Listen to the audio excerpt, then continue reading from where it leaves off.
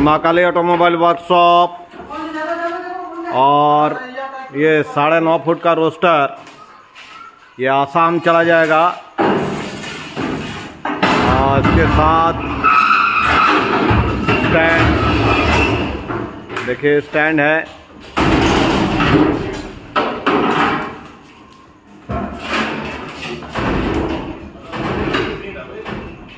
भाई साहब आए थे, ऑर्डर दिया हुआ था।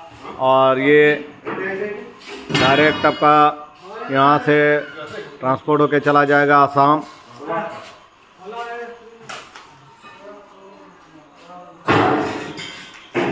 और ये देखिए, ये हॉपा स्टैंड। हर चीज़ जो नेकेट रोस्टर में लगते हैं। इसके साथ चिमनी। चिमनी देखिए।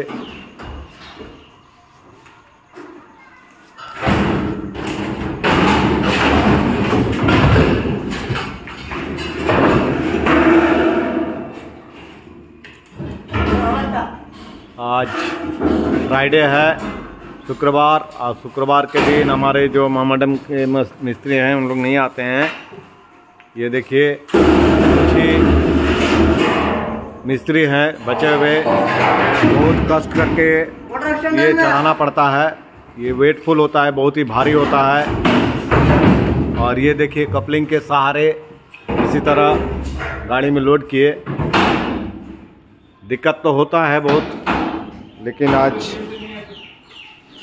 लेबर भी कम है, मिस्त्री भी कम है। किसी तरह चढ़ाना है। बुक हम लोग जो ऑर्डर लिए हुए हैं, जिस दिन हम लोग बोलते हैं कि उसी दिन चला जाएगा और ठीक उसी दिन ही हम लोग ये करते हैं और इसके साथ देखिए ये हॉपर, हर चीज़ जो नेकेट रोस्टर में दिया जाता है। आपको एक एक चीज़ हम लोग दिखा दिए।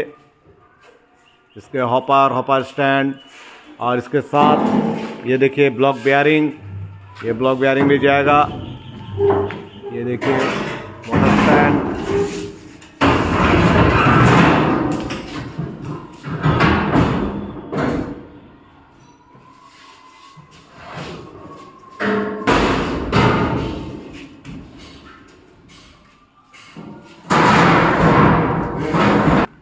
ये देखिए ब्लॉक बेयरिंग ये ब्लॉक बेयरिंग है।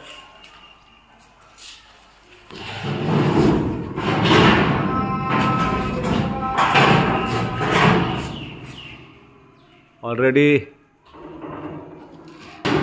ये देखिए ऑलरेडी सब चढ़ गया। एक एक चीज़ जो नेकेट रोस्टर में लगते हैं, सब कुछ अब इस गाड़ी में चढ़ा दिए। ये आपका बांकुड़ा जाएगा। बांकुड़ा से सैप एक्सप्रेस जो है, ट्रांसपोर्ट उसी में चला जाएगा। ये आसाम जाएगा। हमारे आसाम में बहुत सारे मशीन गए हुए हैं। आसाम वासियों से मेरा अनुरोध है कि हमारे वीडियो फॉलो करें। वीडियो अगर आप देखिएगा तो आसाम में बहुत सारे मशीन गए हुए हैं। और इसके साथ